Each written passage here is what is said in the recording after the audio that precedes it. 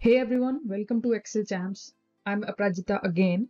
So in this video, we will convert a negative number to positive numbers. Now we have two examples. The first example is quite simple. So this is basic mathematics. Negative into negative is positive. So here I have a negative number which is minus 245. So what I'll do is I will simply multiply this number with minus 1 and I will get a positive number out of this given numbers.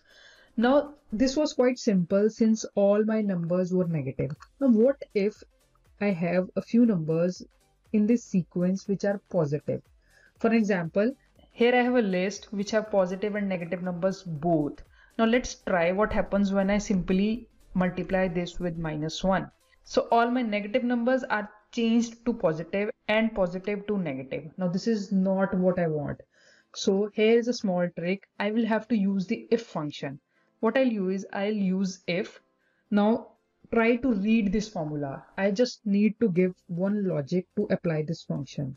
Now I want if my this number is less than 0 then what I want is I want to multiply this number with minus 1 else if it is greater than or equal to 0 I just want the answer to be this number again that is D6 and I'll press enter.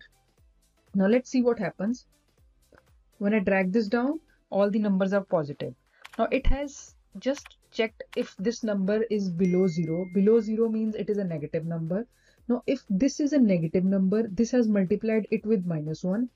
Else it is giving me the same result D6 which is 245. This, so this is how you can convert your negative number to a positive number. I hope you like this video. Please don't forget to like, comment and share. Thank you for your time and thank you for watching.